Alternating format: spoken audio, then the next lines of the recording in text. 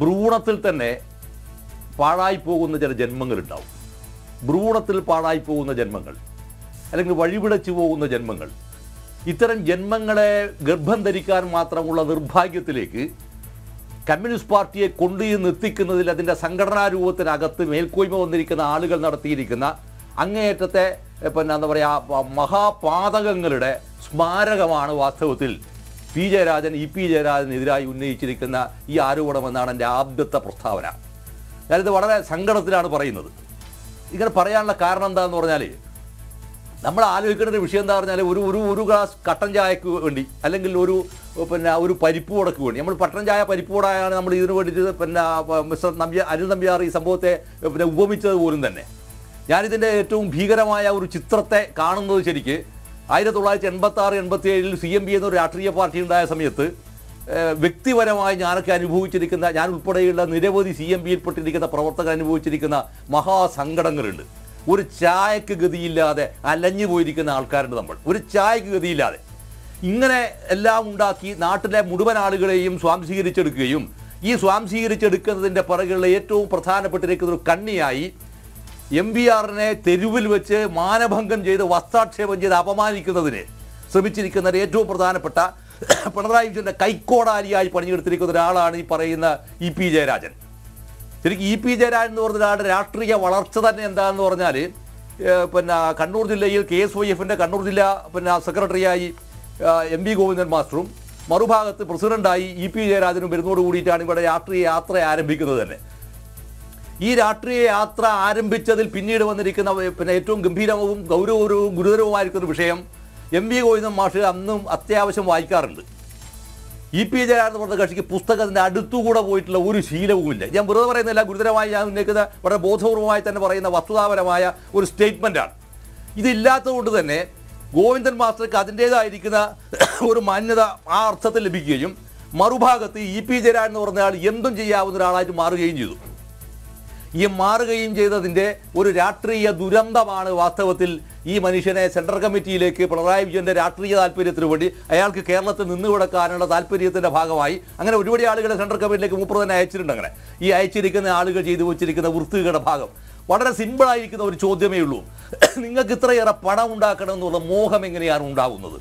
ഈ മോഹം ഉണ്ടാകുമ്പോൾ ഈ പാർട്ടിക്കകത്ത് തന്നെ ഇതൊന്നുമില്ലാതെ ചുമച്ച് മരിച്ചു പോയിരിക്കുന്ന മനുഷ്യാത്മാക്കളുണ്ട് ഇതിനകത്ത്. ഈ ചുമച്ചു മരിച്ചു പോയിരിക്കുന്ന മനുഷ്യാക്കൾ മനുഷ്യാത്മാക്കളെ ഗർഭം ഭരിച്ചിരിക്കുന്ന ഒരു പാർട്ടിക്കകത്ത് ഇത്തരം ഒരു അസുരവിത്ത് ജനിച്ചത് എങ്ങനെയാണ് എന്നതാണ് ഞാൻ ആദ്യം ചോദിച്ചിരിക്കുന്ന ഒരു ചോദ്യം. ഈ ചോദ്യത്തിന്റെ ഉത്തരമാണ് വാസ്തവത്തിൽ ഇപ്പോൾ ഈ പി ജയരാജൻ സ്റ്റേറ്റ് കമ്മിറ്റിയിൽ പറഞ്ഞിരിക്കുന്നത്. ഞാൻ ഒരു കാര്യം പറയാം ഈ സാധനം ശരിക്കും പി ജയരാജൻ ഉന്നയിച്ചത് ഇ പി ജയരാജനെതിരെ മാത്രമല്ല അത് കേരളത്തിലെ മുഖ്യമന്ത്രി പിണറായി വിജയൻ കൂടി എതിരായിരിക്കുന്ന വെടിയാണ് ഈ സാധനം. കാരണം കാരണം അതിന് മൂന്ന് കാരണങ്ങളുണ്ട്.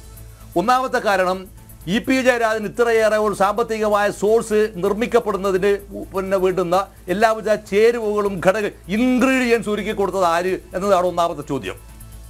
രണ്ടാമത് വരുന്നു ഈ നമ്മുടെ സ്പ്രിംഗർ അഴിമതി ഉൾപ്പെടെയുള്ള പി പി കിറ്റ് വിവാദം ഉൾപ്പെടെയുള്ള ഒരുപാട് സംഭവങ്ങൾ. സ്വപ്ന സുരേഷ് പിന്നെ അദ്ദേഹം അവരെഴുതിയിട്ടുള്ള ഈ ചതിയുടെ പത്മവ്യൂഹം എന്ന പുസ്തകത്തിൽ അത് റിവീൽ ചെയ്തിട്ടുണ്ട്. ഇത് രണ്ടാമത്തെ വിഷയം. മൂന്നാമത്തെ വിഷയം ഈ പാർട്ടിയുടെ സംഘടനാക്രമത്തെ പിണറായി വിജയൻ നശിപ്പിച്ചു എന്നതാണ്. അങ്ങനെ ഈ മൂന്ന് ഘടകങ്ങൾ കൂടെ ഉൾച്ചേർന്ന് വന്നപ്പോൾ വന്നിരിക്കുന്ന ഒരു വിരാട് രൂപമാണ് വാസ്തവത്തിൽ ഇപ്പോൾ ഈ പി ജയരാജൻ ഉന്നയിച്ചിരിക്കുന്ന ഒരു ആരോപണം. ഇനി ഞാൻ ഇതിനകത്ത് മറ്റൊരു തമാശ കൂടി പറയാം. പി ജയരാജനെ വാസ്തവത്തിൽ പൂട്ടുന്നതിന്റെ ഭാഗവും കൂടിയിട്ടായിരുന്നു പിണറായി വിജയൻ എന്ന് പറയുന്ന കേരളത്തിലെ മുഖ്യമന്ത്രി മുപ്പത്തിനാല് ലക്ഷം ഉറുപ്പിയുടെ ഒരു കാറ് അദ്ദേഹത്തിന് എടുക്കാൻ കൊടുക്കാനുള്ള അനുമതി നൽകുന്നത്. ഈ കാറ് വാങ്ങിയിട്ട് പോലും ഞാൻ ഒതുങ്ങിയിട്ടില്ല എന്ന ഒരു സമരപ്രഖ്യാപനവും കൂടി പിണറായി വിജയനെതിരായി ഈ പിന്നെ പി ജയരാജന് ഉന്നയിച്ചു എന്ന വളരെ കുടിലമായ ഒരു സംഭവം കൂടി ഇതിനകത്ത് കിടക്കുന്നുണ്ട്. അപ്പോൾ ഇങ്ങനെ ആകെ വരുമ്പോൾ വരുന്ന ഒരു ചിത്രം എന്താണെന്ന് പറഞ്ഞാൽ ഇത് ഒരിക്കലും തന്നെ ജനങ്ങൾക്കായുള്ള പാർട്ടിയല്ല ജനങ്ങൾക്ക് വേണ്ടിയുള്ള പാർട്ടിയല്ല. ഇദ്ദേഹത്തെ വ്യാപാരി വ്യവസായി പിന്നെ സമിതി ഉണ്ടാക്കിയപ്പോൾ ആ സമിതിയുടെ പ്രസിഡന്റായി പിണറായി വിജയൻ അവരോധിച്ചതും ഇതേ ഇ പി ജയരാജനെയാണ് ഒരു ഒന്നൊന്നര കച്ചവടക്കാരൻ. അതെ. ഈ ഒന്നൊന്നര കച്ചവടക്കാരന് കേരളത്തിലെ വ്യവസായ ഉപമന്ത്രിയായപ്പോൾ മന്ത്രിയായപ്പോൾ അത് എന്നെക്കാൾ നന്നായി അറിയാവുന്ന ഒരുപാട് ആളുകൾ ഇതിനകത്ത് ചർച്ചയിൽ പങ്കെടുക്കുന്നുണ്ട്. അപ്പോൾ അവരെല്ലാം പിന്നെ അത് വിശദീകരിക്കുകയും ചെയ്യുമായിരിക്കും. ഇതെല്ലാം കൂടിച്ചേർന്ന് കഴിഞ്ഞപ്പോൾ വാസ്തവത്തിൽ ഇത്രമാത്രം ഇത്രമാത്രം എന്താ പറയുക അറു കമ്മ്യൂണിസ്റ്റ് വിരുദ്ധനായ മനുഷ്യവിരുദ്ധനായ സാമൂഹ്യ വിരുദ്ധമായ രാഷ്ട്രീയത്തെ പ്രതികരിക്കുന്ന ഒരാളെയാണ് കേരളത്തിലെ യൗവനം ഡിവൈഎഫ്ഐയുടെ പേരിലും പാർട്ടിയുടെ പേരിലും ഈ മനുഷ്യനെയായിരുന്നു പേറിയിരുന്നത് എന്നാലോചിക്കുമ്പോഴാണ് നാം ആലോചിക്കേണ്ടത് വാസ്തവത്തിൽ ഈ പാർട്ടിയിൽപ്പെട്ടിരിക്കുന്ന ആളുകളുടെ ദുർവിധിയും ഗദ്ദിയും എന്താണ് എന്ന്. ഇനി രണ്ടാമത്തെ ഒരു വിഷയോട് പറഞ്ഞിട്ട് ഞാൻ അതിന്റെ പ്രാഥമികമായ വാദം ഞാൻ അവസാനിപ്പിക്കും. രണ്ടാമത് ഈ ആന്തൂരിലാണല്ലോ സാജൻ ആത്മഹത്യ ചെയ്യുന്നത്. ഈ ആത്മഹത്യ ചെയ്യുന്നതിന് പ്രേരിപ്പിച്ചിരിക്കുന്ന ഒരു ഘടകത്തിനകത്ത് ആരൊക്കെ ഉണ്ടായിരുന്നുള്ളതിനകത്ത് ഒരാളുടെ പേര് ആത്മഹത്യ ചെയ്യാൻ പ്രേരിപ്പിച്ചു. എന്നാൽ ഈ വിഷയത്തെ പിന്നെ അദ്ദേഹത്തെ ആത്മഹത്യയുടെ മുനമ്പിലേക്ക് എത്തിക്കുന്നതിൽ അന്നത്തെ അവിടെ ഉണ്ടാക്കുന്ന ആന്തൂർ നഗരസഭയുടെ ചെയർപേഴ്സണിന് പ്രധാനപ്പെട്ട പങ്കുണ്ടായിരുന്നു എന്ന വിഷയം കൂടി ഇതിനകത്ത് നമ്മൾ കൂട്ടി വായിക്കേണ്ടതുണ്ട്. ഇതിന് തൊട്ടപ്പുറത്താണ് ഇ പി ജയരാജൻ ഈ ഒരു ഈ ഒരു പിന്നെ റിസോർട്ട് പണിയുന്നത്. നിങ്ങൾക്ക് എവിടെ നിന്നാണ് ഈ റിസോർട്ടിനോടും ടൂറിസത്തോടും ഇത്ര ഒരു ഭ്രമാത്മകത വരുന്നത്? ഈ ഭ്രമാത്മകതകത്ത് അകത്താണ് വളരെ കൃത്യമായി സുപ്ര സുരേഷ് പറഞ്ഞിരിക്കുന്ന ഒരു വിഷയം ഉണ്ട് ഒറ്റയൊരു വിഷയമുണ്ട് അതിനകത്ത്. ഇവർക്ക് സ്വകാര്യമായി വാസ്തവത്തിൽ സന്തോഷിക്കാനുള്ള സ്പേസ് അവർക്ക് വിട്ടു നൽകേണ്ടതുണ്ട് എന്ന്. ഈ വിട്ടു നൽകേണ്ടതുണ്ട് എന്ന അങ്ങേയറ്റം ഷാർപ്പ് ഷൂട്ടിംഗ് ആയിരിക്കുന്ന ഒരു പ്രസ്താവന സുപ്ര സുരേഷ് നടത്തിയതോടെ കേരളത്തിനകത്തെ കമ്മ്യൂണിസ്റ്റ് പാർട്ടിയുടെ നേതൃത്വത്തിൽ വന്നിരിക്കുന്ന പുതിയ തലമുറയിൽപ്പെട്ട നേതാക്കളെ വാസ്തവത്തിൽ വസ്ത്രാക്ഷേപത്തിന് വിധേയമാക്കുകയാണ് ഈ സുപ്ര സുരേഷ്. എന്നിട്ട് പോലും ഒരു ഒരു ഒരു ഒരു ഒരു കേസ് രജിസ്റ്റർ ചെയ്ത് ഒരു പെറ്റീഷൻ അയക്കാൻ പോലും ഒരു പരാതി അയക്കാൻ പോലും ധൈര്യമില്ലാത്ത ഭീരുക്കളായി ഈ പാർട്ടി മാറിയപ്പോൾ സ്വാഭാവികമായിട്ടും ഇനി ഇതിനേക്കാൾ അപ്പുറത്ത് വരാവുന്ന ഒട്ടനവധി ആരോപണങ്ങൾ വന്നേക്കാം.